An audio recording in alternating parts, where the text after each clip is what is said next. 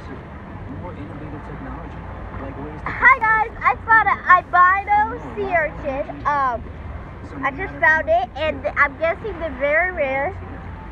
And okay, so hold on, I'm gonna let my pap hold that, and I'm gonna go get a regular sea urchin for y'all.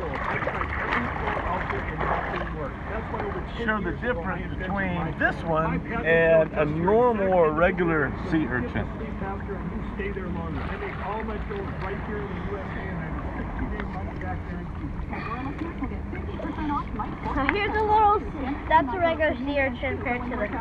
Plus free shipping. Call 800-926-6315 or go to mypillow.com. So- on the listen special and use code Pandora. Uh, Now, when somebody asks you if there's ever a white sea urchin, you can say, yes, I've seen one. And now you gotta do some research on sea urchins and then wait, talk are you still about videoing?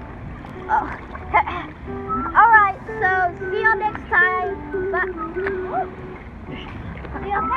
Bye. I was still recording.